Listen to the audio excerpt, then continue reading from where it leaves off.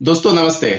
काफ़ी दिन से अवेटेड था ये लाइव और काफ़ी रिक्वेस्ट था कि बच्चों से बातचीत की जाए और उसमें जो बच्चे इंडियंस बच्चे हैं, जो सीनियर्स हैं, उनसे बात किया जाए, फिर उसके जो जूनियर्स बच्चे हैं, उनसे बातचीत किया जाए। तो एक्चुअली लेट इसलिए हुआ, इस लाइव करने में इतने दिनों में इसलिए नहीं हो पाया कि बच्चों का एग्ज़ाम चल रहे थे, उसके बाद सप्लीमेंट्री एग्ज़ाम चल रहे थे, बच्चे काफ़ी बिज़ी थे अपने पढ़ाई को लेके और एग्ज़ाम्स को लेके। अभी हाल ही में दो तीन दिन पहले वहाँ के सारे एग्ज़ाम हुए हैं और जो बच्चे फ्री हुए हैं तो हम कोशिश कर रहे हैं कि उसमें से हर दिन किसी न किसी बच्चे के साथ या अल्टरनेट डे वहाँ के इजिप्शियन मेडिकल एजुकेशन सिस्टम के बारे में वो जो वहाँ कर रहे हैं, वहाँ पे हकीकत में रियलिटी क्या है, जो चीज़ें क्या इंडिया में बताई जाती है, वो चीज़ें वहाँ पे हंड्रेड परसेंट मैच करता है या नहीं करता है। और सारी चीज़ था कि बच्चे से बात नहीं होती है, बहुत सारे बच्चों के फ़ोन नंबर्स दे दिए जाते थे तो बच्चे परेशान हो जाते थे, लोग कई बार फ़ोन करने लगते थे। तो ये सारी चीज़ को लेके बच्चे से ही वहाँ जो इजिप्ट में मेडिकल एजुकेशन है, उसके बारे में बातचीत की जाए और उन बच्चों से सुना जाए कि वहाँ पे पढ़ाई का स्टैंडर्ड कैसा है, वहाँ उनके साथ किस तरीके से भाईचारा है या उनके साथ इजिप्ट में डिस्क्रिमिनेशन होता है।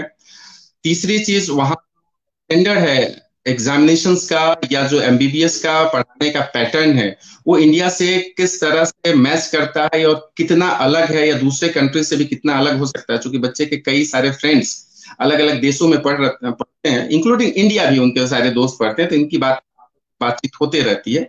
तो हमसे बेहतर ये जो जो पढ़ने वाले जो बच्चे हैं, जो थर्ड ईयर में हैं, हम आज स्टूडेंट से बात करेंगे और वो की है, अपने आप में काफ़ी प्रखर वक्ता है और अभी तक जो तीन साल में उन्होंने किया, इस साल तीसरी साल है इंडिया को काफ़ी ले गई। इंडिया के बारे में कई कई डिस्कशन, जो प्लेटफॉर्म है, वहाँ पे जाके उन्होंने इंडिया के बारे में और इंडियन कल्चर है, इंडियन ट्रेडिशन है, इसके बारे में बताया है। कई सारे जो मिनिस्ट्री के फ़ंक्शन होते हैं, उसमें प्रखर के, स्पीकर के तौर पे ये बात करती हैं। राजस्थान की हैं पायल नाम है डॉक्टर तो नहीं कर सकता हूँ क्योंकि डॉक्टर बनने की प्रोसेस में है, लेकिन पायल है और काफ़ी स्ट्रॉन्ग और काफ़ी सिंसियर और इंटेलिजेंट स्टूडेंट्स हैं ये और करियर में इस साल चली गई हैं। तो मैं उनसे इंट्रोड्यूस करवाता हूँ। जानने की कोशिश करेंगे। पायल के खुद उनके मुँह से और उनकी आवाज़ से। इसमें कोई फैब्रिकेटेड चीज़ नहीं रहेगा, इसलिए हम लोग लाइव करते हैं और बच्चों को लाइव लेके बात करते हैं। पायल को मैं स्क्रीन पे ला रहा हूँ। पायल सबसे पहले तो बहुत बहुत धन्यवाद, शुक्रिया आपको कि आपने समय दिया। और ये आज यहाँ इंडिया में नीट का एग्ज़ाम हो चुका है और कि बच्चे डॉक्टरी पढ़ने के लिए किस तरह से क्रेजी रहते हैं। और नीट का एग्ज़ाम खत्म है के इंतज़ार में बैठे हैं और काफ़ी ये रिक्वेस्ट आ रहा था कि किसी बच्चे के साथ वहाँ की बात की जाए एजुकेशन सिस्टम के बारे में, पढ़ाई के बारे में। तो आपने रिक्वेस्ट को स्वीकार किया और अपना टाइम दिया, इसके लिए बहुत बहुत शुक्रिया थैंक यू तो ये पायल हैं डॉक्टर पायल हैं राजस्थान से हैं और पूरा नाम पायल विजय वर्गिया है। और दूसरे जो गेस्ट है मेरे, वो मिस्टर विनय मिस्टर विनय शर्मा है। ये कंसल्टेंट हैं राइटर हैं मोटिवेशनल स्पीकर हैं, और इनके अभी तक दो तीन तीन मेरे ख्याल से बुक्स आ चुके हैं जो कि अमेजन वगैरह सारे जो प्लेटफॉर्म है, वहाँ पे अवेलेबल हैं। और एक बहुत अच्छे कोच हैं जो बच्चे मेंटल स्ट्रेस में रहते हैं या जो भी फैमिली जो भी जिस एज ग्रुप के लोग मेंटल स्ट्रेस में रहते हैं तो पूरी इंडिया ने इंटरनेशनल लेवल पे इनका जो कोचिंग है, जो इनका एडवाइस है जो ट्रीटमेंट करने का तरीका है काफ़ी फ़ेमस है और अच्छा खासा यूट्यूबर भी हो चुके हैं। तो मैं स्वागत करूँगा विनय शर्मा जी को ये जयपुर से है। से कनेक्ट हुए हैं। तो सर सभी लोगों को बहुत बहुत शुक्रिया। बीबीएस इजिप्ट के फेसबुक पेज पे और लाइव के लिए आप लोगों ने समय दिया। इसके लिए बहुत बहुत शुक्रिया। तो पायल मैं आपसे ही शुरू करना चाहूँगा। आपका फ़र्स्ट ईयर से थर्ड ईयर का जर्नी कैसा रहा? फिर उसके बाद आगे बातचीत का सिलसिला हम लोग जारी रखेंगे। अच्छा थोड़ा डिफरेंट था बट ठीक था first year first year actually उस टाइम पे कोरोना आ गया था सेकंड सेमेस्टर में तो उस टाइम पे रिसर्चेस हुए थे। ऑनलाइन सब कुछ तभी शिफ्ट हुआ था। Okay okay. तो आपको नहीं फ़र्स्ट ईयर में जब आप फ़र्स्ट सेमेस्टर ज्वाइन की थी पहली दफ़ा 2019 में अभी 2021 हो रहा है। तो वो जो फ़र्स्ट जर्नी था वहाँ से लेकर थर्ड ईयर तक का जर्नी आपका कैसा रहा? क्या क्या चेंजेस दिखा वहाँ पे आपके एजुकेशन में? एजुकेशन uh, में चेंजेस लाइक लास्ट ईयर बहुत ज़्यादा स्टूडेंट्स आ गए थे तो फोकस जो इंटरनेशनल स्टूडेंट्स पे था वो बहुत बढ़ गया। और ऑलमोस्ट अभी तो सब कुछ सेम ही चल रहा है स्टडीज़ वगैरह, ठीक चल रही है। नहीं, आपने सही बोला। एक्चुअली इंडिया में हम लोगों ने 2013 से नेपाल और बांग्लादेश के बच्चों को इजिप्ट में एडमिशन करवाना शुरू किया था। लेकिन 2016 के बाद से हम लोगों ने एमसीआई से अप्रोच किया एम्बेसी से अप्रोच किया मिनिस्ट्री ऑफ़ एजुकेशन से लेकिन यहाँ लिस्ट होता था एक एमसीआई में जिस लिस्ट को अभी रिमूव कर दिया गया है तो हमारा इजिप्ट का जो भी कॉलेजेस जो लिस्टिंग हुआ पहली दफ़ा 2018 में हुआ और पहला बैच गया मेरा, वो बैच था दो हज़ार और उस सेशन की आप पहली बैच का पहले आप लोग स्टूडेंट्स हैं जो वहाँ पे MBBS as a Indian student कर रहे हैं। अब बहुत तमाम सारे बच्चे हैं। तो इसलिए मैं पूछा उस समय आपके जो नंबर्स थे वो कम थे। आज इंडियंस बच्चों का नंबर मतलब हंड्रेड प्लस के आसपास में आपके कॉलेज में है कायरो में है अलग अलग जगहों पे तो टीचर्स का फोकस इंडियन स्टूडेंट्स पे या फॉरेन नेशनल्स जो स्टूडेंट्स आते हैं कितना रहता है? क्या वो मिलनी पढ़ाते हैं? या फिर आपके साथ किसी तरह के डिस्क्रिमिनेशन करते हैं? Uh, नहीं नहीं सर डिस्क्रिमिनेशन तो कुछ नहीं है। एक्चुअली जो पॉइंट है कि फॉरेनर्स जो स्टूडेंट है उसमें इंडियन स्टूडेंट्स का नंबर बहुत ज़्यादा बढ़ गया है। तो इट्स लाइक जो इंटरनेशनल स्टूडेंट्स है वो मोस्टली जो स्टूडेंट्स है वो इंडियंस ही तो मेन जो फोकस रहता है वो रहता है इंडियंस पे। और हमारी जो क्लासेस वगैरह होती है वो भी अलग ही होती है। इजिप्शियंस के साथ um, कुछ क्लासेस होती है लाइक जो हॉल वाली क्लासेस होती है वो होती है बट मोस्ट ऑफ़ ऐसा कोई डिस्क्रिमिनेशन वगैरह कुछ नहीं होता है। Okay okay. आपने फ़र्स्ट ईयर क्लियर किया फ़र्स्ट ईयर में बहुत इंडिया से काफ़ी कंट्री में बच्चे पढ़ने जाते हैं लेकिन जो कंप्लेन्स आते हैं कि मैं फ़र्स्ट ईयर में गया जो मेरा नन क्लिनिकल का लैब होता है या प्रैक्टिकल होता है वहाँ मैं कर नहीं पाता हूँ या उसका उसकी व्यवस्था या एबिलिटी नहीं है। थ्योरेटिकल पढ़ के हम पास कर जाते हैं तो आपके साथ क्या थ्योरेटिकल था या प्रैक्टिकल की सारी जो लैब्स होनी चाहिए प्रॉपर वे में वो था? इंस्ट्रक्टर के अवेलेबल थे? नहीं सर प्रैक्टिकल ये पॉइंट है यहाँ पे प्रैक्टिकल पे बहुत फोकस करते हैं। एक्चुअली यहाँ का जो सिस्टम है क्रेडिट आर्ट्स के बेसिस पे तो उसमें प्रैक्टिकल और थियोरटिकल दोनों के डिफरेंट क्रेडिट आर्ट्स होते हैं तो प्रैक्टिकल पे फोकस हो जाता है। और लैब्स वगैरह भी अच्छी है लाइक एनाटमी की लैब्स अच्छी हैं लाइक सब कुछ डिजिटल भी है और हिस्टो में भी लैब्स वगैरह सब परफेक्ट है। Okay okay. आप सिलेबस देखी वहाँ पे फ़र्स्ट ईयर का सिलेबस पढ़ी सेकेंड ईयर का जो सिलेबस था उसको आपने पढ़ा। आपके कई सारे दोस्त हैं जो इंडिया में भी मेडिकल कर रहे हैं अब्रॉड में भी मेडिकल कर रहे हैं। आपकी बात की सिलेबस या जो करिकुलम वहाँ पे आपने अभी तक कंप्लीट किया है। तो इजिप्ट का करिकुलम को आप किस नज़रिए से देखती हैं? सर आई थिंक यहाँ का जो करिकुलम बहुत लाइक सिंप्लीफाइड वे में है और ये यूएसएमएलई uh, के बेसिस पे जो करिकुलम है डिफरेंस uh, क्या है? लाइक like, इंडिया में जो फ़र्स्ट ईयर के हमारे सब्जेक्ट्स आते हैं वो एनाटमी बायो केम फिजियो इस टाइप से आते हैं जबकि यहाँ पे ऐसा नहीं होता यहाँ पे सिस्टम वाइज आता है। First year is basic second year से like we have blood so anat physio patho everything of blood is included in blood and then we have G I T so it's more like we are not studying anatomy at once it's like G, uh, we are just studying uh, anatomy of GIT, and then in second semester, in fourth semester, we have respiratory. So we are studying the uh, anatomy of respiratory. So it's like सब कुछ एक जगह पे पूरा focus इकट्ठा हो गया ऐसा कह सकते हैं तो ये बहुत सिंप्लीफाइड है बिकॉज़ पूरा एनाटमी और पूरा एक साथ पढ़ने से बेटर है कि सारे सिस्टम्स को पूरा डिवाइड करके पढ़ते हैं जैसे सेकेंड ईयर में हमारे चार सिस्टम है blood GIT respiratory and cardio तो वो चारों अलग अलग सिस्टम है और उनके जो बेसिक्स हैं वो उन सिस्टम्स में इंक्लूडेड है। जो मेन बेसिक थे, जैसे एनेट का जो बेसिक होता है पैथो का जो बेसिक होता है, ये सब हमने फ़र्स्ट ईयर में कवर कर लिया। तो सिस्टम से सिस्टम से फोर्थ ईयर से क्लिनिकल रोटेशन है। ओके अच्छा विनय विनय शर्मा सर हम लोग के साथ हैं। काफ़ी बच्चों के काउंसलिंग करते हैं और काफ़ी बच्चे संपर्क में रहते हैं इनके। तो मैं चाहूँगा सर आपके सामने इजिप्ट को लेके जो पेरेंट्स या स्टूडेंट के सवाल आते हैं जो क्वेश्चंस आते हैं किस तरीके से आते हैं आ, क्या उस सवाल का जवाब पायल से आप लेना चाहेंगे? बिल्कुल पायल को पायल पायल को सबसे पहले जानने वाला मैं था तो वहाँ मेरे को जो सबसे इम्पोर्टेंट बात थी मुझे लगता है देखो क्या कोई भी नया डेस्टिनेशन होता है कोई भी जगह होती है तो वहाँ पर किसी भी जने को ये समझना but I am extremely thankful कि इसके पापा ने और इसने ट्रस्ट किया। सबसे अच्छी बात ये थी कि इसको गवर्नमेंट मेडिकल कॉलेज मिल चुका था एक साल पहले। uh, लेकिन उसके बाद भी पायल ने फाइनली डिसाइड किया that I want to go to Cairo and वहाँ जाके अपने मेडिकल स्टडीज़ करना चाहती हैं। तो पायल कुछ चीज़ें बहुत इंपॉर्टेंट है जो समझना है। मुझे मालूम है कुछ जगह पर शुरुआत में तकलीफें आती हैं वो वो एक्सेप्टेबल है। लेकिन अब मैं कुछ इंपॉर्टेंट बात क्या तुम अपने इस डिसीज़न से अब खुश हो? बिकॉज़ मैं बताऊँ आपको कि पिछले साल में आ, सभी स्टूडेंट्स इंक्लूडिंग इंडिया सब इंडिया में बैठ के पढ़ाई कर रहे थे ऑनलाइन क्लासेस चल रही थी। आप एकमात्र ऐसा कंट्री थे ऐसे कुछ स्टूडेंट्स में शुमार थे जहाँ पर पढ़ाई रेगुलर चल रही थी और पिछले दो साल से तुम घर नहीं आई हो। जब पैंडेमिक में सब जगह किसके बच्चों को वापस इंडिया भेज दिया गया था तब तुम वहाँ बैठकर पढ़ाई कर रही थी। तो मुझे उस एक्सपीरियंस के बारे में बताओ कि क्या एक्सपीरियंस रहा वो समय? सर एक्चुअली क्लासेस हमारी भी शिफ्ट हुई थी ऑनलाइन बट uh, क्या हुआ कि पूरी जो क्लासेस थी वो ऑनलाइन शिफ्ट नहीं हुई। ऐसा क्या था कि जो प्रैक्टिकल्स है वो स्टिल कॉलेज में होंगे और जो ऑनलाइन uh, क्लासेस है ऑनलाइन क्लासेस भी इस टाइप से थी कि uh, जो थियोरिटिकल था वो ऑनलाइन था एंड देन uh, वो जो थ्योरी था उसका एक क्यू एन ए सेशन और डिस्कशन सेशन कॉलेज में होता था।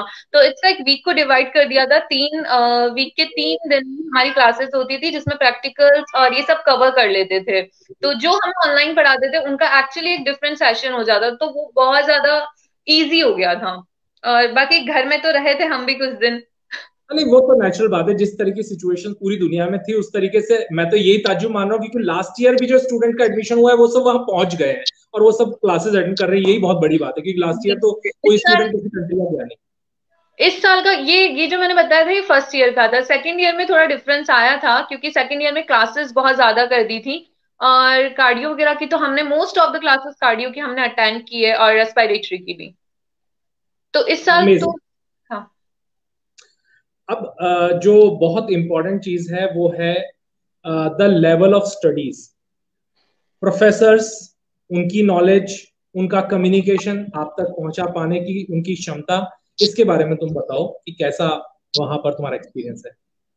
सर uh, ये डिफरेंस मुझे लाइक तब लगा था uh, जब लाइक मैंने मेरी सिस्टर जो अभी इंडिया में ही पढ़ रही है लाइक थोड़ा डिस्कशन वगैरह हुआ था and she was like professor से बात नहीं होती है प्रोफेसर इतना नहीं बात करते हैं। मुझे तो नहीं पता कि क्या होता है बट यहाँ पे यही डिफरेंस है कि प्रोफेसर वगैरह अपना नंबर इजीली दे देते हैं और उनसे कम्युनिकेट करना भी बहुत ईजी होता है। It's like not not only in studies even in personal life if you are facing anything you can contact professor and just like two three days ago professor call me and she was like she so friendly so ऐसा कोई issue नहीं आता। Professor बहुत अच्छे और अगर curriculum की बात है तो यूएसएमएल के बेस पे है। अभी मैंने यूएसएमएल के पेपर्स वगैरह चेक नहीं किए और ना ही देखे।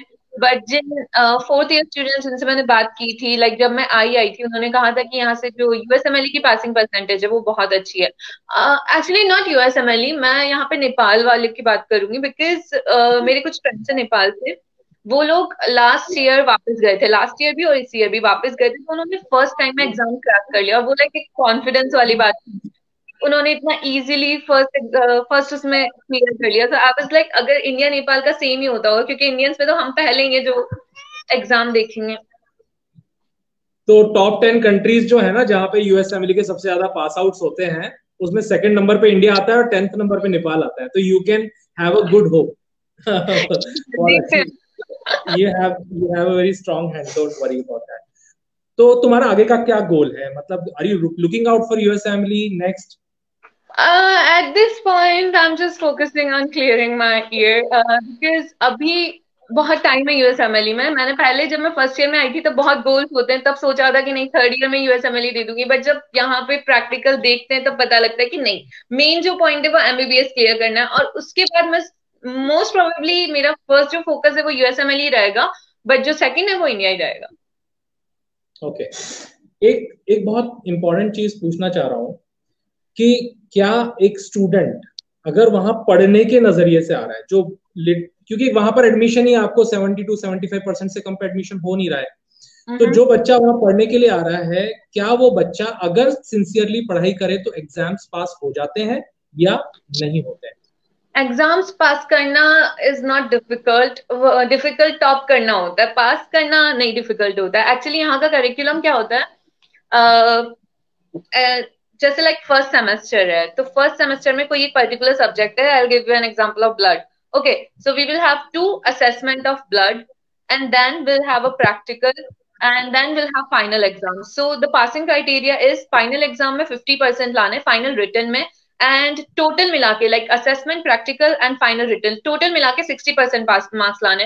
हाँ डिफ़िकल्ट पड़ता है लाइक सिक्सटी एक लेवल है बट आई थिंक पास करना is not difficult difficult top करना होता है. ये तो बहुत अच्छा परसेप्शन तुमने दिया.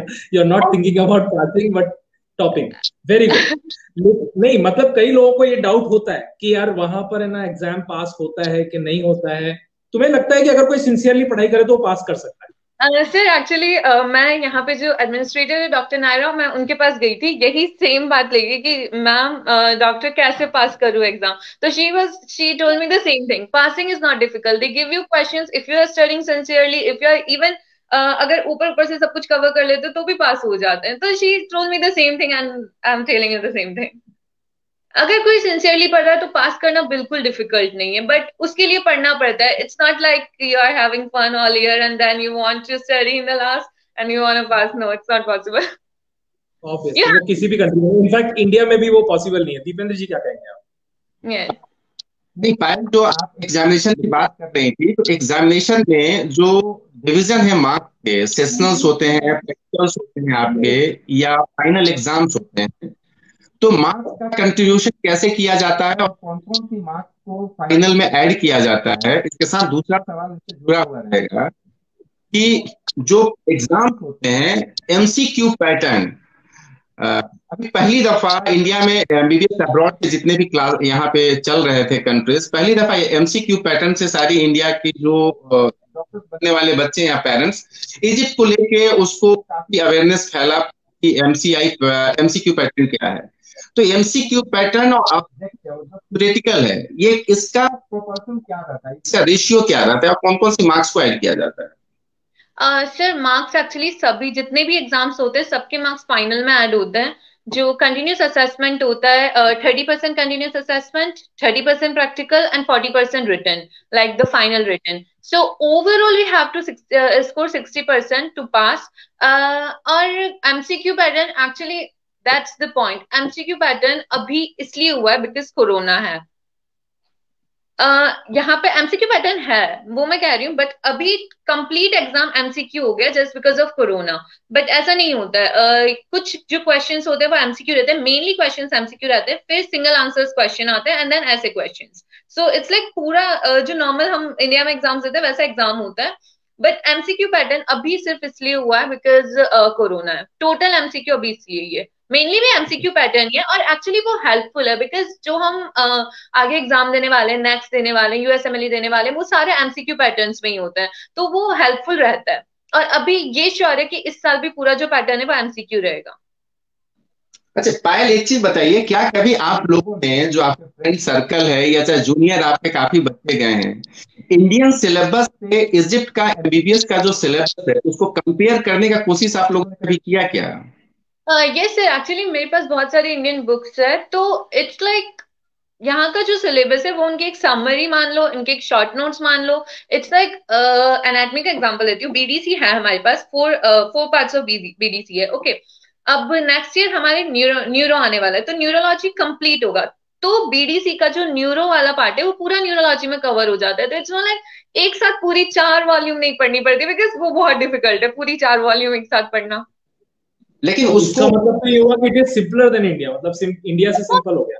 बहुत सिंपल जो हमारी बुक में वही वहाँ पे लिखा हुआ है just in a simpler way तो बच्चों के जो आपके पास जो क्वेश्चंस आ रहे हैं मैं चाहूँगा कि वो सारे क्वेश्चंस चूँकि थर्ड ईयर के स्टूडेंट हैं उन्होंने उसके पायल के पास फ़र्स्ट ईयर का अपना एक्सपीरियंस है सेकेंड ईयर का अपना एक्सपीरियंस है बच्चों को लेकर खासकर जो गर्ल्स स्टूडेंट्स होते हैं उसका सेफ्टी को लेकर पेरेंट्स काफ़ी कंसर्न रहते हैं। दूसरी चीज़ ये भी चलता है कि भाई इजिप्ट एक इस्लामिक कंट्री है। ये भी एक चीज़ जो कंसेप्ट में बना हुआ है। तो इसके बारे में भी पायल बताएँगी कि किस तरीके से वहाँ पे इंडियंस को देखा जाता है और किस तरीके से इंडियंस रेपुटेशन है इजिप्ट में वो पायल खुद बताएँगे। और पायल टेक्निकल इस बात के साथ इस बात के साथ हमें एक चीज़ और भी ध्यान रखनी चाहिए कि it is one of the most important tourism country also in the world मतलब अगर हम बात करें बहुत कम कम कंट्री रहते हैं जो इस्लामिक कंट्रीज़ हैं एट द सेम टाइम उनके यहाँ बड़ी क्वांटिटी में टूरिस्ट आता है।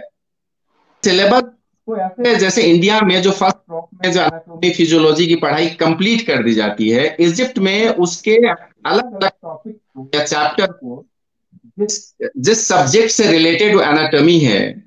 उसमें पढ़ाया जैसे एनाटॉमी में जो न्यूरो का हिस्सा है आपका न्यूरो की पढ़ाई शुरू होगी उस समय उसको कवर किया जाएगा। Yes. तो ये तो ये ये मतलब हर कवर आप कर रहे हैं लेकिन उसको टुकड़े टुकड़े में कर रहे हैं कि आप प्रेशर में भी ना आए आपकी सारी चीज़ें कवर भी हो। वो होता है कि एक जो सिस्टम है वो पूरा कवर हो जाता है। जस्ट लाइक like, बार बार एक ही सिस्टम को नहीं पढ़ रहे एक टाइम पे एक सिस्टम कवर हो जाएगा। और ये लाइक सिर्फ़ थर्ड ईयर तक है। फोर्थ ईयर से तो वैसे भी क्लिनिकल स्टार्ट है। तो ये तो पैटर्न क्या? आपके हिसाब से पैटर्न सही है या गलत है?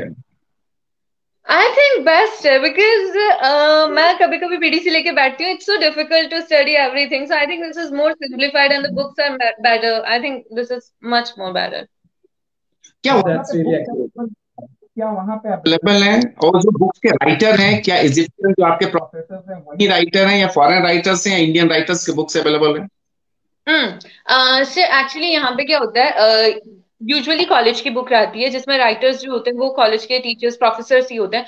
बट वो जो बुक का लास्ट होता है उसमें सारे रेफरेंसेस होते हैं। जस्ट लाइक पैथो की बुक्स पे तो उसमें रॉबिन्स वगैरह इवन इंडियन जो राइटर्स है मैंने बहुत बार देखे हैं कि इंडियन राइटर्स की बुक्स तो बुक्स जो है वो एक्चुअली uh, सबका मिक्सचर है। कॉलेज वाले uh, जो कॉलेज के प्रोफेसर है वो खुद भी लिख रहे हैं और जो हमारी स्टैंडर्ड होती है उनसे भी कुछ पार्ट लिए ओके okay. और गर्ल्स सेफ्टी कैसा है? जो कि आप गर्ल्स लड़कियों की सेफ्टी गर्ल सेफ्टी कैसा है? क्योंकि आप खुद एक गर्ल हो और एक दिमाग में लोगों को ये है कि इजिप्ट एक इस्लामिक कंट्री है।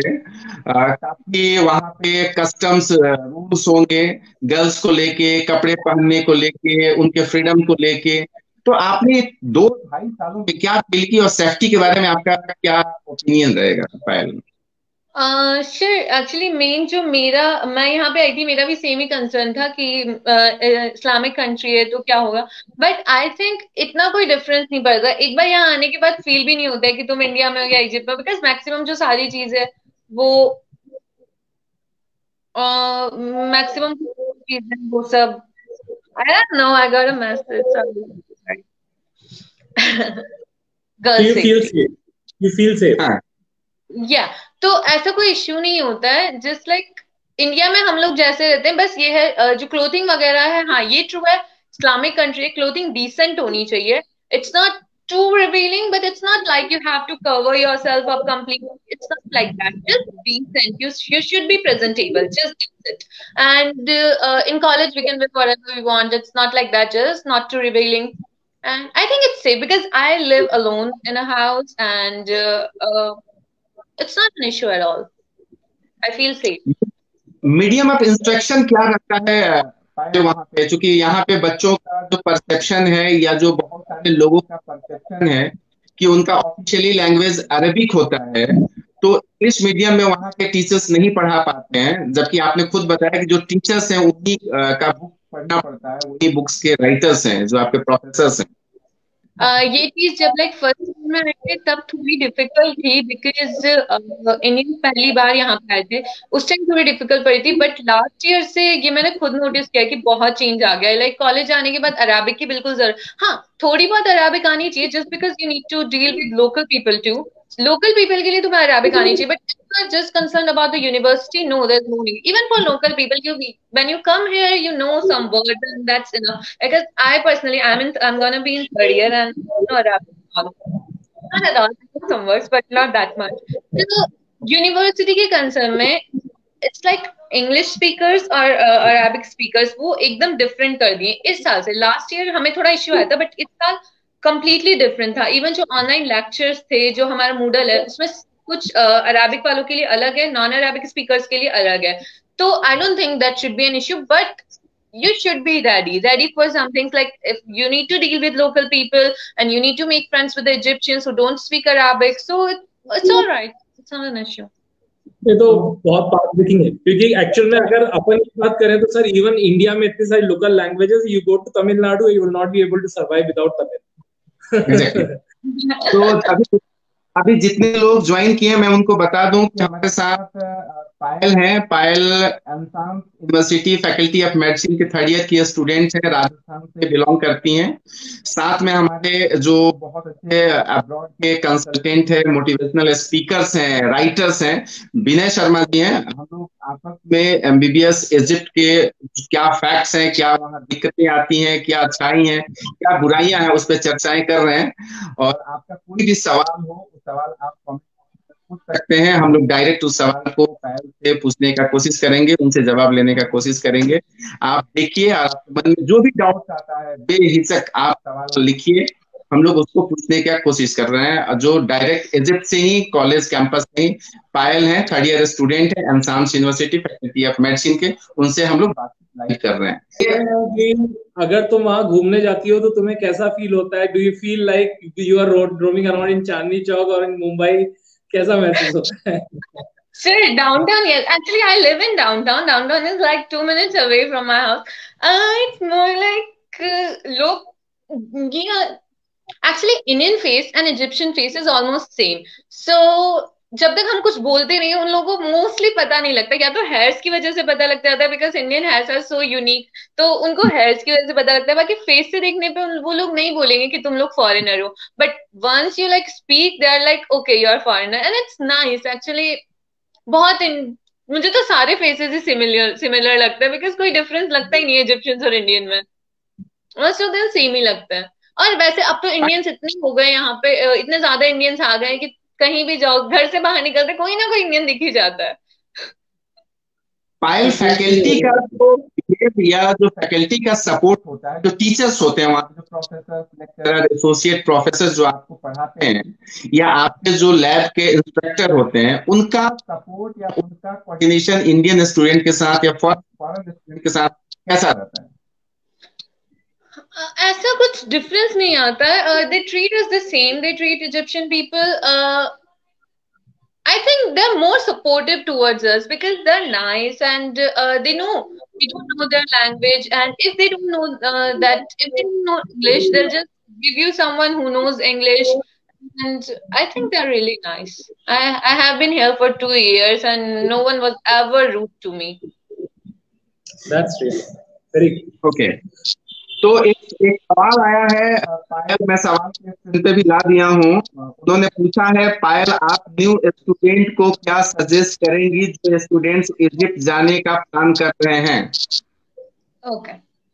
पहली चीज़ अचार लेके आना ठीक है? मतलब उसमें क्या? अचार पापड़ मसाले।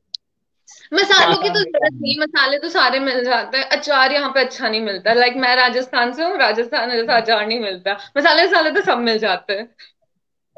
तो कि राजस्थान का अचार इजिप्ट में कैसे पहुँचे?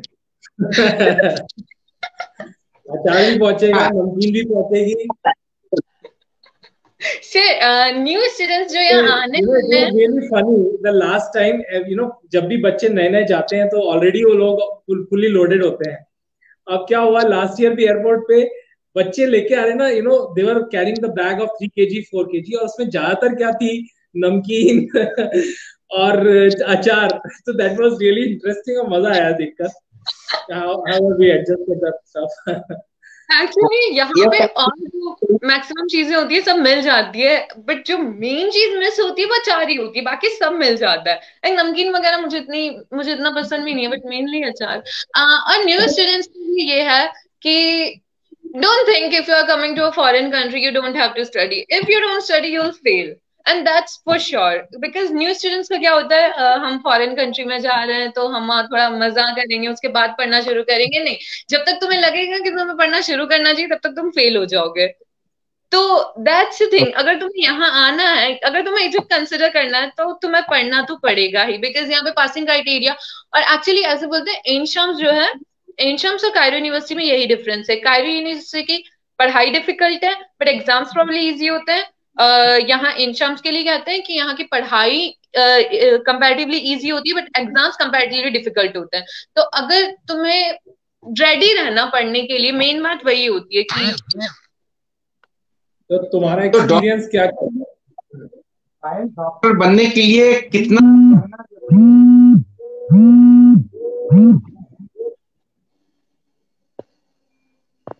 मैं डॉक्टर बनने के लिए कितने घंटे आवाज़ आ रही थी यस सर तो पढ़ाई का कितना इम्पोर्टेंस एक डॉक्टर के लिए है?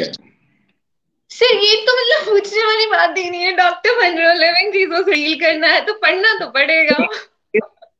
इसमें मैं उस सवाल पूछने से पहले इस सवाल को इजी किया कि अभी मार्केट में इंडियन मार्केट में जो बच्चे काउंसलिंग के लिए आते हैं तो उनको ये भी बताया है कि इजिप्ट में ड्रॉप रेट रेशियो ज़्यादा है पासिंग परसेंटेज कम है। इसके बारे में आप क्या कहना चाहिए पासिंग परसेंटेज कम है क्या ये इंटेंशनली है या बच्चे नहीं पढ़ते हैं वो बच्चे फेल होते हैं? सर uh, एक्चुअली ये बात सच है और ये ये बात लिटरली सच है कि यहाँ पे ड्रॉप होने की परसेंटेज बहुत ज़्यादा और पासिंग परसेंटेज बहुत कम है। एक्चुअली यहाँ पे क्रेडिट आवर सिस्टम होता है। क्रेडिट आवर सिस्टम्स क्या होते हैं? कि हर सब्जेक्ट है just like I talk about first year तो फर्स्ट ईयर में two credit hours anatomy, uh, three three point five credit hours anatomy, two point five physiology, and histo two immuno two. Passing criteria is uh, to get to the next year, we have to pass in more than like your failure credit hours, failed credit hours should be less than 10 if your failed subjects or failed credit failed credit hours are more than 10 you will have to repeat your year and if it's less than 10 you you can take your subjects to next year so i think i personally think because बच्चे पूरे साल नहीं पढ़ते और फिर last में कोशिश करते हैं पढ़ने की तो it's not possible in medicine in medicine you have to be consistent and that's the difference because my sister is in India and she is studying medicine ये डिफरेंस यहाँ पे आता है because she doesn't get that much time to study और do any other things because she the college timing is too I think from eight to six, and then they get to hostel and they have so many things to study. That's the difference. यहाँ पे per day का इतना ज़्यादा नहीं होता है करने का का इतना सब्जेक्ट होता है स्टडी करने का जो तुम कवर कर सकते हो easily but you have to give your time in it but if you are careless and if you think I do it tomorrow I do it someday else no it won't be possible you won't be able to pass passing is not difficult difficult top करना होता है. पास करने के लिए तुम्हें बस consistent रहना होता है. इजी पायल एक सवाल और है Payal please tell us about the teaching faculty there uh, teaching faculty. How well, qualified yeah. they are, how experienced they are, just add up that also. Uh, what, sir? How qualified and experienced they are.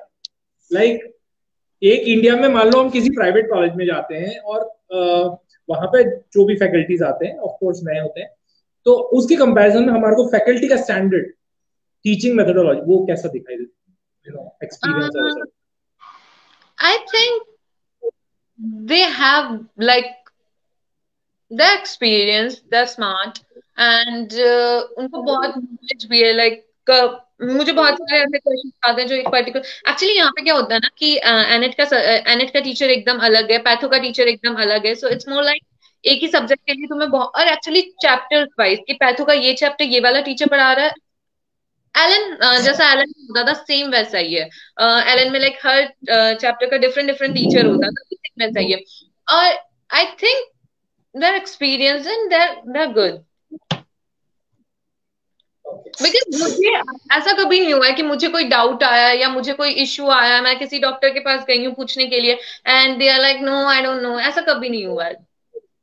अच्छा पायल आपने वहाँ पे anatomy की complete कर ली biochemistry complete कर ली है ठीक है ना? मेरे ख्याल से सेकंड ईयर में आपने पैथो भी पढ़ लिया है माइक्रो भी माइक्रोबायोलॉजी भी शुरू हो गया है ना? ये सर फ़र्स्ट तो ईयर में एक एक फ़र्स्ट ईयर में था। एक एक डिपार्टमेंट में, जैसे हम बात करें कि एनाटोमी के जो फैकल्टी है तो कितने फैकल्टी उस यूनिवर्सिटी के पास हैं? टोटल उनके professor associate professor assistant tutor एक आपका आइडिया है?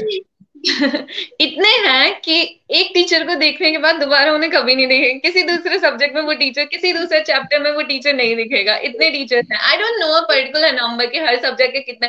बट हाँ ये श्योर है। जिस टीचर को मैंने फ़र्स्ट फ़र्स्ट सेमेस्टर में या फ़र्स्ट ईयर में देखा था उसे मैंने कभी सेकंड ईयर में नहीं देखा। तो इतने इतने हैं। देखने के बाद मैं फैकल्टी ऑफ़ मेडिसिन यूनिवर्सिटी के जो वेबसाइट है जो उनके फैकल्टी के जो लिस्ट होते हैं तकरीबन सर प्रोफेसर से लेके ट्यूटर तक उनके एक एक डिपार्टमेंट्स में 65 टू 85 90 फैकल्टी मेंबर्स होते हैं। जो उनके हम्म। पूरी की पूरी उनकी पूरी पूरी प्रोफ़ाइल के साथ कहाँ से पास आउट हुए हैं उनके एक्सपीरियंस किस किस कंट्रीज़ में है।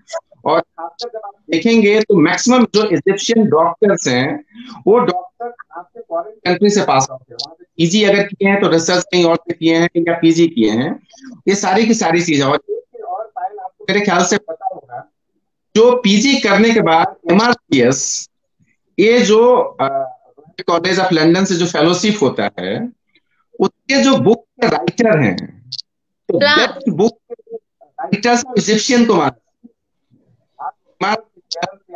के बुक्स वहाँ पे तो वहाँ पे बुक्स आप देखिए जैसे इंडिया में चाय की दुकान सभी जगहों पे दिखता है कॉलेज के सामने चाय और का दिखता है। नए नए तो इसको पता करने की कोशिश कीजिएगा कि जो एम आर सी एमआरसीएस या एमआरसीपी का जो बुक उसको मैक्सिमम लिखने वाले इजिप्शियन डॉक्टर्स हैं।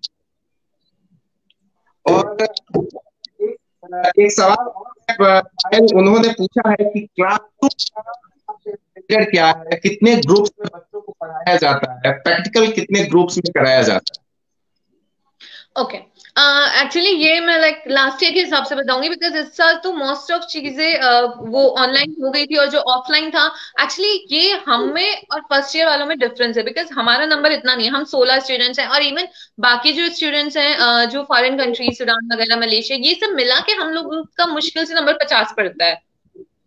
तो it's like it's like tuition class क्योंकि टीचर uh, होता है हम मुश्किल से क्लास में बीस तीस बच्चे पचास बच्चे होते हैं जिसमें से तीस अटेंड करते हैं क्लास तो सिर्फ़ तीस बच्चों की क्लास होती है तो टीचर बहुत अटेंटिव हो जाता है सिंगल uh, स्टूडेंट uh, पे बिकॉज़ वो हर स्टूडेंट की एक्टिविटी को देख सकता है। और हमारा हमारा पर्टिकुलरली एक बड़ा हॉल भी नहीं मिलता है क्योंकि हम लोग स्टूडेंट्स इतने कम है तो पचास तीस स्टूडेंट और एक teacher so I think that's a really good ratio for a medical college और क्या होता है नॉर्मली यूजुअली क्या होता था? कि एक क्लास लगती थी हॉल में मेन क्लास वो इजिप्शियंस के साथ होती थी फ़र्स्ट ईयर में। And then we use to have tutorials जो वो सेम सब्जेक्ट था वो ट्यूटोरियल में एक स्मॉलर ग्रुप में लाइक like, जैसे हमारा तो वैसे स्मॉल पचास ग्रुप का ग्रुप है। बट जो फ़र्स्ट ईयर वाले हैं आई थिंक वो भी डिवाइडेड है। बट जो प्रैक्टिकल होता है वो more like ten to twenty students are in a session ten to twenty students I don't think because हम लोग एक्चुअली वैसे भी इतने ज़्यादा नहीं तो मुझे इस चीज़ का ज़्यादा आइडिया नहीं है but I think first year वाले भी उनको भी इतने ज़्यादा स्टूडेंट्स एक साथ इकट्ठा नहीं करते हैं। वो भी प्रैक्टिकल वगैरह में आई थिंक सेशन वगैरह बनते होंगे दस बीस स्टूडेंट का but I am not sure about it तो आपके जूनियर्स गए ये तो काफ़ी नंबर्स में पहुँचे हैं तो इनको पढ़ाने के लिए क्या क्लास डिवाइड किया जाता है कि अभी इनको जितने हंड्रेड के आसपास तो एक साथ ही पढ़ा दिया जाता है? एक्चुअली आई थिंक अभी इंडिया से सिक्सटी टू सेवेंटी स्टूडेंट्स हैं फ़र्स्ट ईयर में. I think I am not sure but उनका एक उनको एक हॉल असाइन किया है तो उनको पूरे हॉल में पढ़ाते हैं. But the language I think is English because सारे उसमें इंग्लिश स्पीकर्स रहते हैं. तो इंग्लिश uh, लैंग्वेज बाकी जो प्रैक्टिकल्स होते हैं उनमें डिवाइड कर देते हैं. I am not sure about tutorials because tutorials जब होते हैं इजिप्शियंस के लिए ट्यूटोरियल्स होते हैं बिकॉज़ उनका जो बड़ा हॉल होता है, उसमें students 250 300 so they need a tutorial but हम लोगों में, हम लोग स्टूडेंट्स ही इतने नहीं है so we don't need tutorial so it's just revising what you have already taught us so I don't think we have tutorials these days आप ये बताइए कि जो वहाँ के लोकल इजिप्शियन बच्चे पढ़ते हैं, या और जो बच्चे आके पढ़ाई करते हैं, क्या उनका सिलेबस भी आप ही का सिलेबस जैसा सिमिलर सिलेबस है? एक एग्जामिनेशन पैटर्न उनका भी उसी बुक से, उसी क्वेश्चन बैंक मतलब उसी सिलेबस से आता है?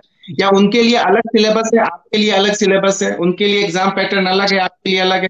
ऐसा कुछ है क्या? नहीं नहीं ऐसा कुछ भी नहीं है। एक्चुअली हमारा जो एग्ज़ाम होता है वो रोल नंबर्स के बेसिस पे होता है और सारे जो जैसे मेरा पर्टिकुलर जो रोल नंबर है वो कुछ इंडियंस और फिर सारे इजिप्शियंस रहते हैं। तो हम लोग एग्ज़ाम्स वगैरह हमारा साथ में देते हैं। एग्ज़ाम्स पैटर्न सेम है बुक सेम है टीचर्स सेम है सब कुछ सेम है कुछ डिफरेंस नहीं है। तो एग्जामिनेशन जो आप पेपर आते हैं इंग्लिश अरबिक दोनों में आते हैं या इंग्लिश में आते हैं? English English curriculum is completely English सब कुछ इंग्लिश okay. में आता है। बुक में कुछ भी कहीं दूर दूर तक अराबिक नहीं होता है। Okay okay. कभी तबीयत अगर खराब हो जाए बाई चांस पायल कभी थोड़ा तबीयत कुछ खराब हो जाए तो फिर क्या करती हो? How how do you take the assistance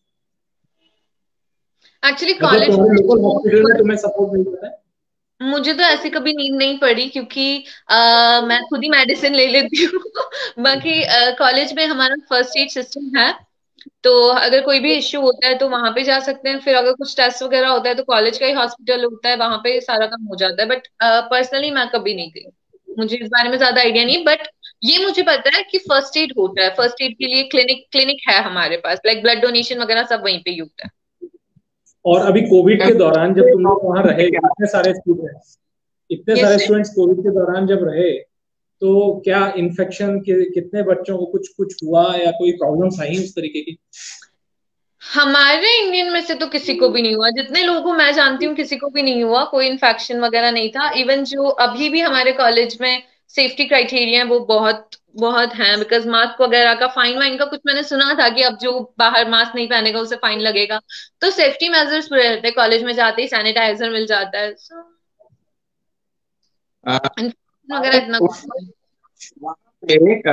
student के लिए मेडिकल फैसिलिटीज़ फ्री है तो कभी इसको आपने इसका फ़ायदा लिया?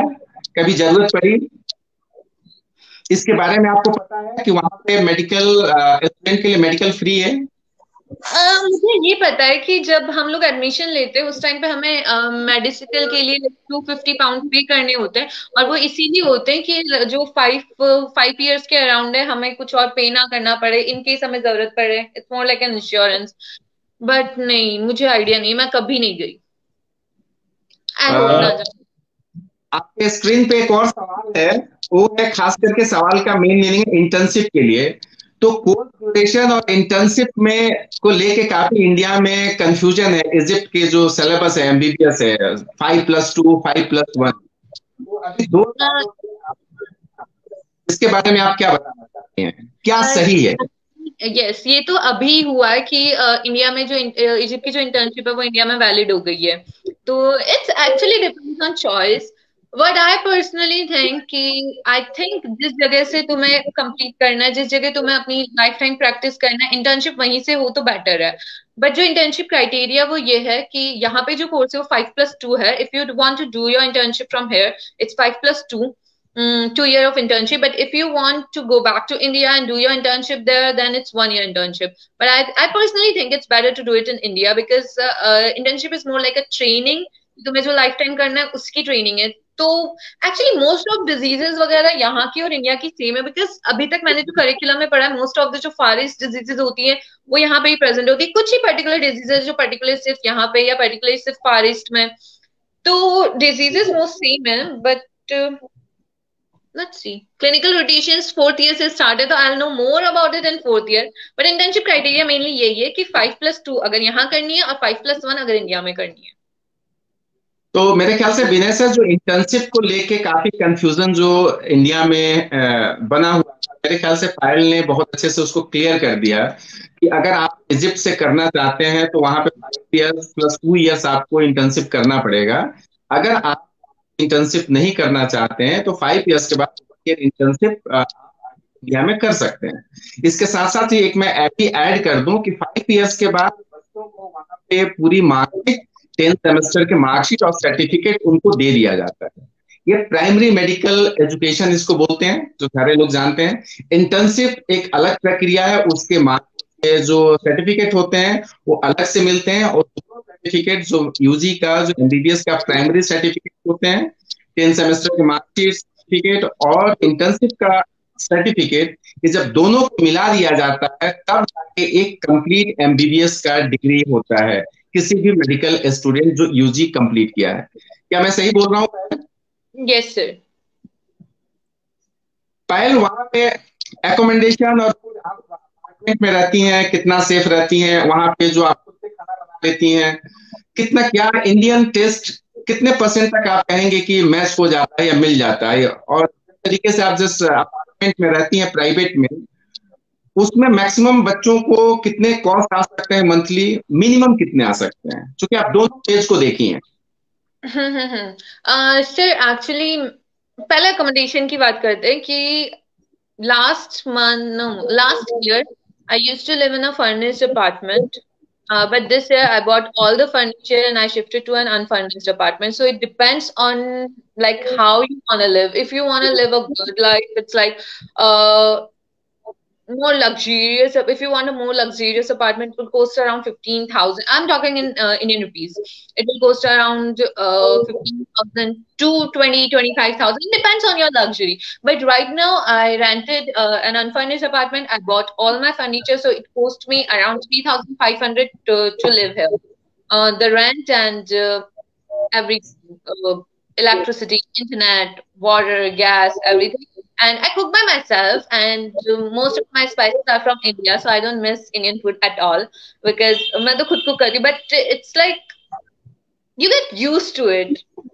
After a while yeah in, at first you feel it's so different and it's so difficult to eat these things but you get used to it. Because the thing ऐसी बहुत सी चीज़ें जो मुझे जब मैं फ़र्स्ट यहाँ पे आई थी मुझे बिल्कुल पसंद नहीं थी बट अब like I die for those things so you get use to it और इंडियन अगर इंडियन टेस्ट की बात है तो यहाँ पे बहुत सारी इंडियन शॉप्स है. इवन इजिप्शियन शॉप्स भी है जो इंडियन जो सामान होता है वो सेल करती है that's why I told you कि मसाले वगैरह सब कुछ यहाँ पे मिल जाते हैं. उनकी इनका इश्यू नहीं है इश्यू अचार का है. तो इंडियन डेज़ इतना मिस नहीं होता। बाकी यहाँ पे बहुत सारी मैथ्स वगैरह भी है। मैंने तो कभी मैथ्स लगाई नहीं बट जो स्टूडेंट्स मैं कुछ स्टूडेंट्स को जानती हूँ जो मैथ्स वगैरह लगा रहे थे तो उन I think they happy okay क्या इंडियन करेंसी टेन थाउज़ेंड से ट्वेल्व थाउज़ेंड में एक बच्चा लॉजिंग फूडिंग के साथ सरवाइव कर सकता है? Aram say like this month I just spent 9,950 and I'm still left with so much. Actually, I'm so happy with myself because of it because I was trying to cut off my expenses and this month I did great because uh, I, uh, it's like 16 of this month and I still have so much money left. So it's easy. 10 to 12,000 is enough if you, if you want to live a simple life, 12,000 is more than enough. But if you want a luxurious life, it's like 20,000. It's, it's like maximum 20,000, 25,000. It depends on you totally. And if you, uh, I know, know some people here who are actually traveling and uh, Payal also is very close to Kota. And in Kota, generally a hostel charges 15,000 bucks to 18,000 bucks for one student uh, per month. So even in India it's कम यहाँ पे spend करती हूँ। यहाँ पे मेरा कम पैसा खर्च होता है कोटा से। तो ये ये काफ़ी इंपॉर्टेंट न्यूज़ है कि जो बच्चे कोटा में तैयारी किए हैं और रहे हैं उनको एक्सपेंस ये थे हॉस्टल और खाना के लिए उससे सस्ते में आप इजिप्ट में रह सकते हैं और खा सकते हैं अच्छे तरीके से। मैं सही yes sir traveling expense difficult नहीं है। ट्रैवलिंग एक्सपेंसिव क्या एक्सपेंसिव है ट्रैवलिंग या चीपेस्ट है और किस किस तरीके के पब्लिक ट्रांसपोर्ट है sir uh, i don't understand what kind of traveling are you talking about like normal metro public transport कितना एक्सपेंसिव है पब्लिक ट्रांसपोर्ट कितना एक्सपेंसिव है या सस्ता है आई थिंक सस्ता ही बिकॉज़ uh, मैं लाइक कॉलेज से uh, आठ मेट्रो स्टेशन दूर रहती हूँ तो हमें एक्चुअली इस साल से मेट्रो uh, कार्ड मिल जाता है इस उसमें सिक्सटी पाउंड का रिचार्ज होता है टू फिफ्टी रुपीज़ के आसपास का रिचार्ज होता है और वो तीन महीने चल जाता है तो तीन महीने दो स्टेशन का होता है तो तीन महीने कॉलेज आने जाने का हो जाता है दो सौ पचास रुपए में और इसके अलावा बस माइक्रो बसेस वगैरह होती है तो माइक्रो बसेस भी दो पाउंड पर टाइम चार्ज करती है दो पाउंड पाँच pound depend on your location I think it's not it's that expensive बाकी uh, जो मेट्रो है अगर आपका कार्ड नहीं है कार्ड वैसे यूजुअली सारे इंटरनेशनल स्टूडेंट कार्ड बना के रह रहे हैं बट अगर कार्ड नहीं है तो it's like five pound for nine station seven pound for I don't know I never use seven pound card By the way, Egyptian pound is four rupees fifty पैसा, around four rupees fifty पैसा. तो yes. आप उसके हिसाब से calculate कर सकते हैं. Yes. इंटरनेट कितने एक्सपेंसिव है वहाँ पे? इंटरनेट यहाँ पे ये चीज़ है इंटरनेट एक्सपेंसिव है। uh, अगर आप इंटरनेट एक्चुअली इंडिया में बहुत चीप मिल जाता है अगर वहाँ पे एक्सपेंसिव है। अगर सिम में रिचार्ज कराते हैं तो it cost around two fifty pound for fifty per month okay but मैं इंटरनेट मैं इंटरनेट वाईफाई से यूज़ करती हूँ। वाईफाई इतना महँगा नहीं पड़ता। Wifi is like two hundred and fifty GB for two hundred and fifty pound normally internet expensive है बट वाईफाई वगैरह इजी वो पड़ जाता है सस्ता पड़ जाता है। सिम तो महँगा पड़ता है। आपका मतलब वीज़ा जो एक्सटेंशन होता है वहाँ पे तो कंप्लीट वन ईयर के लिए होता है आपका वीज़ा एक्सटेंशन yes, तो उस वीज़ा एक्सटेंशन पे एक कार्ड मिलता है आपको तो जितने आप साल में उस वीज़ा एक्सटेंशन पे जितने कितने बार आ सकते हो कितने बार जा सकते हो या जितने बार आप आओगे या जाओगे वीज़ा आपको लेना पड़ेगा? ऐसा कभी आपको फील हुआ है? या नहीं, नहीं, नहीं, जो वीज़ा कार्ड है वो रेजिडेंसी के लिए तो वो एक साल का पूरा कवर करता है। तो कितनी बार जाओ कितनी बार आई डोंट थिंक उससे कोई फ़र्क पड़ता है क्योंकि वो पूरे साल का होता है। सोलह सौ सत्तर होता है वीज़ा एक्सटेंड साल का। जो आपने बोला कि फुल्ली एक्यूप्ड मैंने अभी फ्लैट लिया तो उसमें क्या क्या चीज़ें हैं जिसको आप फुल्ली एक्यूप्ड बोलेंगे जो पूरी तरीके से फंक्शनल हो? क्या क्या उसमें रहता है? Uh, नहीं सर मैंने ये कहा था कि फुली फर्निश्ड अपार्टमेंट में मैं पहले रहती थी और अब मैं अनफर्निश्ड अपार्टमेंट में रह रही हूँ तो सारी चीज़ें मेरी है।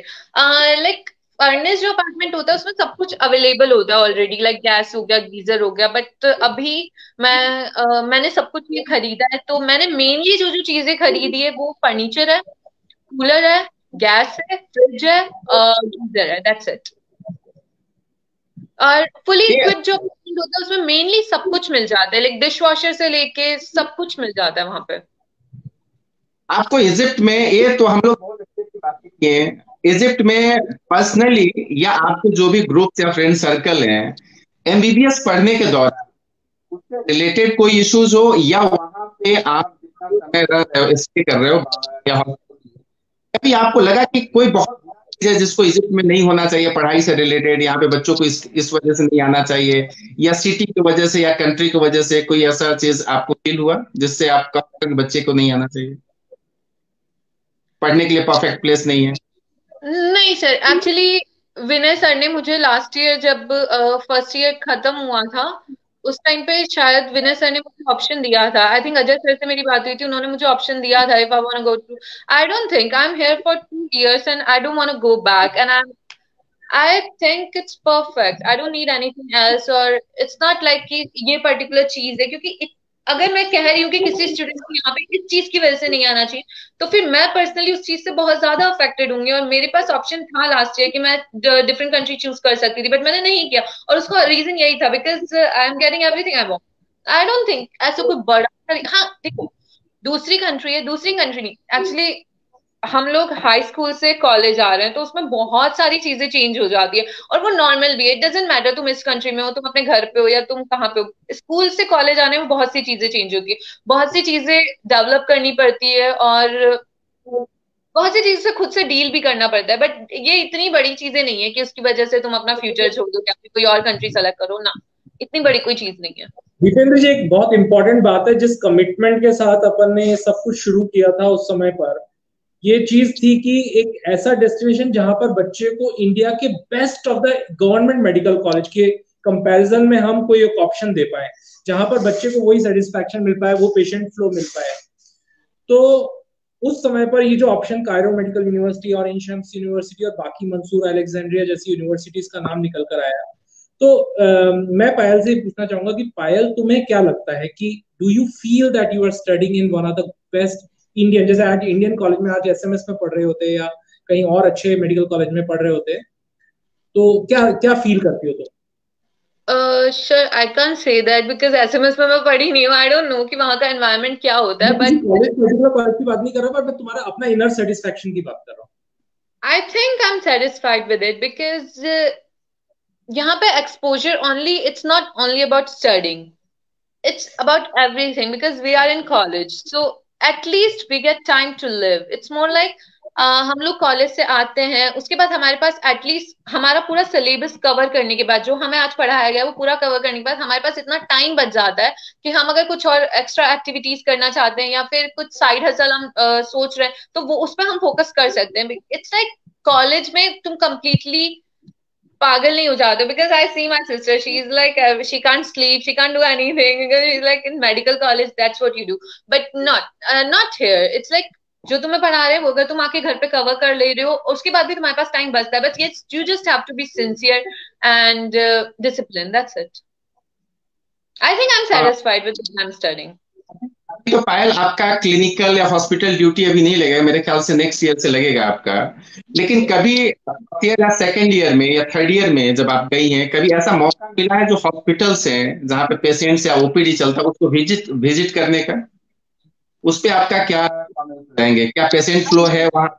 हाँ. कितने सर एक्चुअली uh, यहाँ पे क्या होता है कि फोर्थ ईयर से क्लिनिकल रोटेशन स्टार्ट होते हैं तो फोर्थ ईयर से पहले इट डिपेंड्स ऑन अस कि अगर हम हॉस्पिटल जाना चाहते हैं तो हम विज़िट कर सकते हैं बट मैं पर्सनली ऐसा कभी देखने हॉस्पिटल गई नहीं हूँ बट मुझे एच uh, की रिपोर्ट के लिए मैं हॉस्पिटल गई थी उस टाइम पे आई थिंक मैंने वहाँ पे इतने लोग देखे थे तो पेशेंट फ्लो यहाँ पे बहुत अच्छा है बाकी मुझे ज़्यादा आइडिया नहीं है क्योंकि अभी तक क्लिनिकल रोटेशन स्टार्ट नहीं हुआ है बट पेशेंट फ्लो अच्छा है ये क्योंकि मैं एक बार गई हूँ हॉस्पिटल तो ये आपके जो टीचिंग बिल्डिंग्स है जहाँ पे आपकी पढ़ाई होती है लेक्चर थिएटर है या लैब्स है इससे जो कॉलेज का हॉस्पिटल है चूँकि एफिलिएटेड जो हॉस्पिटल्स हैं जो कॉलेज का एंजाम्स का इसकी दूरी कितना है? और कितना समय लगता है जाने में? वॉकिंग डिस्टेंस पे है या अलग अलग हॉस्पिटल्स हैं?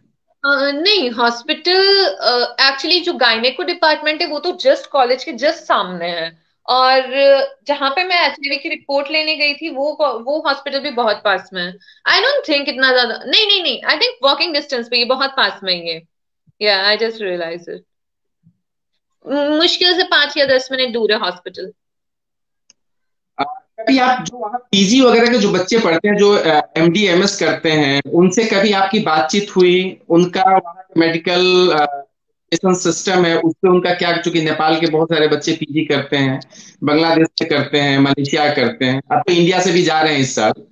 तो उनसे कभी बात हुई? उन्होंने आपको क्या बताया हाँ मैं लाइक पीजी वाले बहुत स्टूडेंट से मेरी बात हुई है रेडियो में भी है कुछ लोग और गायनेको डिपार्टमेंट के हाँ कुछ लोगों से मेरी बात हुई है but they are like they are so busy तो इतना हमारी कुछ बात नहीं होती because most of the time जब मैं उन्हें देखती हूँ like they are either studying they are on their duty I think but they didn't say anything like कि नहीं यहाँ से पीजी मत करना। इवन uh, जो एक भैया थे उन्होंने मुझे यही कहा था कि uh, यहाँ से पीजी कर अगर तुम्हें इंडिया से नहीं करनी है तो तुम यहाँ से पीजी कर सकते हो बिकॉज़ अच्छा ऑप्शन है। बट ज़्यादा मेरी इस बारे में कभी किसी से बात नहीं हुई है। हाँ ये ज़रूर कहा था कि अच्छा ऑप्शन है कर सकते हैं। और एक्सपोजर वगैरह बहुत अच्छा है यहाँ पे hospitals no no no actually मैं एक बार हॉस्पिटल एक्सरे के लिए गई थी कायरो यूनिवर्सिटी के नॉट एंशम्स तो वहाँ पे पेशेंट फ्लो बहुत ज़्यादा था बहुत ज़्यादा पेशेंट फ्लो था। I think every doctor was busy at that time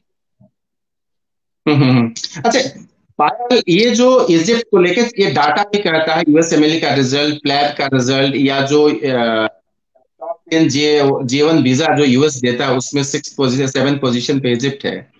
इसके वजह क्या है कि वहाँ के बच्चे यूएस एमिली प्लैब इतने अच्छे से क्रैक करते हैं मिडिल के लाइसेंस एग्जामिनेशन क्रैक करते हैं मतलब क्या वजह क्या ऐसी इन्वायरमेंट है या टीचर्स का भी कंट्रीब्यूशन रहता है? सर व्हाट आई थिंक दो चीज़ें क्योंकि यहाँ पे जो करिकुलम है वो यूएसएमएलई के ही बेसिस पे इंडिया यूएसएमएल का I think I don't know much about it but curriculum बहुत ज़्यादा डिफरेंस है बट यहाँ का जो करिकुलम है वो मेनली उसी बेस्ड पे और मोस्ट ऑफ़ द स्टूडेंट्स जो hmm. अभी यहाँ पे पढ़ रहे हैं उनका मेन जो गोल है वो यहाँ पे रहना नहीं उनका जो मेन गोल होता है जितने स्टूडेंट से मैंने बात की उनका यूएसएमएल आइदर प्लान तो नंबर ऑफ़ स्टूडेंट्स ही इतने ज़्यादा हैं यूएसएमएल प्लैब के लिए अप्लाई करने की तो ऑब्वियसली बात है कि पास होने वाले के नंबर ज़्यादा ही होगा। I think one first reason ये है कि करिकुलम सेम है and I think second reason की यहाँ के टीचर्स हेल्पफुल हैं. Like whatever you need दल help I think these are the two reason हम लोग को लगता है विनय से जितना भी जो सवाल होनी चाहिए थर्ड ईयर स्टूडेंट्स जो दो साल की एक्सपीरियंस तीन साल का एक्सपीरियंस होने जा रहा है। और कुछ गर्ल स्टूडेंट है जो कंसर्न यहाँ के पेरेंट्स को होता है। पूरी तरीके से जस्टिफाई करने का जो हकीकत था। ऐसा भी नहीं था। पायल को जो अच्छा था अच्छा बोली जो बुरा है सवाल पायल जवाब दे रही थी एज स्टूडेंट्स हम लोग कोशिश करेंगे कि और बच्चों को लाए।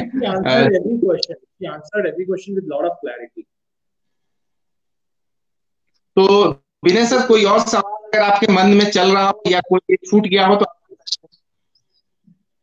नहीं आई थिंक uh, अब हमने सारे क्वेश्चंस ऑलमोस्ट पूछ लिए हैं related to the residence and the studies and quality of studies and everything and Payal ने सबसे बढ़िया बात है कि she has represented India in many occasions in Egypt तो congratulations you for that I feel really proud about that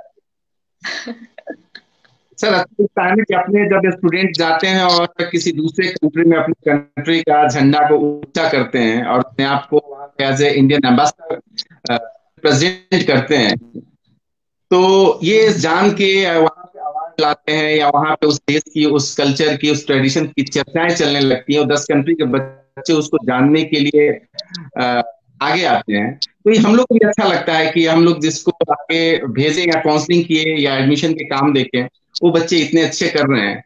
तो हम, हमें भी बहुत खुशी होती है ना प्राउड फील होता है वैसे स्टूडेंट्स पे। तो पायल, आप बच्चों से कहना चाहेंगी, आपका क्या सजेशन रहेगा जो बच्चे नीट के रिज़ल्ट की तैयारी कर रहे हैं या जो बच्चे इजिप्ट में एमबीबीएस ज्वाइन करना चाहते हैं 2021 और 22 सेशन में? I think this is a cheap way to get good education because ये कंट्री इतना ज़्यादा एक्सपेंसिव नहीं है अगर दूसरे कंट्रीज़ uh, के उसमें देखें और छह साल का भी नहीं है पाँच साल का ही कोर्स है I think this is a good option if you want study if you want roam around no no to Egypt. but if you want to study, if you really want to be a good doctor, then you can come here because exposure अच्छा है, teachers अच्छे हैं, curriculum भी अच्छा है. मतलब ये कह दिया जाए कि अगर डॉक्टर बनना है तब तो आप इजिप्ट जाइए लेकिन डॉक्टर बनने के मन में ख्वाब है लेकिन फैंटेसी कुछ और है। अगर ये चीज़ें चल रही है तो आप इजिप्ट मत जाइए आप कभी भी वहाँ से एमबीबीएस की डिग्री लेके वापस नहीं आ सकते हैं। बिकॉज़ मेरे बहुत दोस्त हैं जो वापस गए हैं तो इसलिए मैं इस चीज़ पे बार बार फोकस कर रही हूँ because if you don't want study don't come go to some other country but here you have to study because मेरे दोस्त भी गए हैं वापस। तो लेकिन इंडिया में भी पढ़ाई तो करनी पड़ेगी ना इंडिया में आनी है वहाँ पैसे देख के पास नहीं कराया जा सकता है। टीचर्स के पास रिकमेंडेशन करके पास नहीं कराया जा सकता है। आपको पढ़ना पड़ेगा। अगर जिनमिनली आप मेडिसिन की पढ़ाई करना चाहते हैं उसका शॉर्टकट कुछ नहीं होता है आपको पढ़ना पड़ेगा। अगर ये आपका विल पावर है कि आप पढ़ सकते हैं एज ए डॉक्टर बनने की आप में अंदर खुमार है और ड्रीम है और वो ड्रीम हकीकत की होनी चाहिए वो फैंटेसी वाली ड्रीम नहीं कि मेरे बगल वाला डॉक्टर पढ़ने इस कंट्री चला गया तो मैं भी चला जाऊँ। नहीं तो आप जिनमिनली पढ़ना चाहते हैं, तब इजिप्ट जाइए। अदरवाइज़ आप इजिप्ट में डॉक्टर नहीं बन सकते हैं। जैसे इंडिया में बिना पढ़े डॉक्टर नहीं बन सकते हैं, वैसे ही इजिप्ट में बिना पढ़े डॉक्टर्स नहीं बन सकते हैं। इजिप्ट को दूसरे कंट्री से जहाँ पे पैसे देके डॉलर्स देके पास करा दिए जाते हैं, उससे कंपेयर कभी मत कीजिएगा। अगर आप नहीं पढ़ना चाहते हैं तो आपके साथ तमाम कोर्सेज अवेलेबल हैं, जो आप पढ़ लीजिए। उसमें पेरेंट्स के पैसे भी बच जाएँगे, आपके समय भी नष्ट नहीं होगा। किसी न किसी तरीके से आप जीवन में रोज़गार कर लेंगे, तभी भी जीवन चल सकती है। तो ख्वाब हो, पढ़ने की उम्मीद हो, जज्बा डॉक्टर इस देश को सर्व करने की जज्बा हो, तब आप जाए।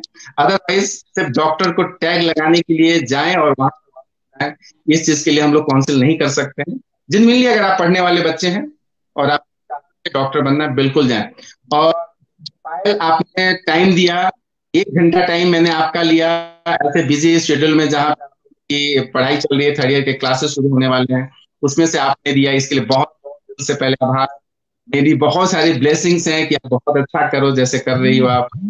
और एक रोल मॉडल बन के आओ कि आने वाले जो बच्चे हैं, उनके लिए एक लगे कि जो बच्चे गए थे वो कुछ करके आए हैं और गए थे पढ़ने उसको जस्टिफाई करके आए हैं और जो लोग भेजा है उनके लिए भी एक चेहरे पे उम्मीद की किरण जगेगी कि हमने किसी चीज़ को एक्सपेरिमेंट किया और किसी नई चीज़ों को ला के बच्चों को भेजा। जो अन्योन था इस मार्केट में वहाँ से जो बच्चे पढ़ के आए वो, हमारे हमारे भी नाम रोशन कर रहे हैं। हम भी आपको देखें और आपके बारे में कहीं पे चर्चा करें तो प्राउडली बोल सके कि पायल को हमने भेजा था। पायल को जिसलिए भेजा गया था ने उसको प्रूव किया। बहुत बहुत आपने समय दिया। बहुत सारी बातें हुई बहुत सारी चीज़ें आपने बताया तो वहाँ के आपने खुद फील किया। साथ ही विनय सर आपने आया मुझे सपोर्ट किए। अच्छा लगता है जब कुछ अच्छे लोग ऐसे ऐसे विद्वान लोग लोग से बात को मिलता है। जैसे पायल मुझे कुछ सीखने को मिला। तो सभी को बहुत it was a tremendously good and very enlightening discussion बहुत ही अच्छा लगा।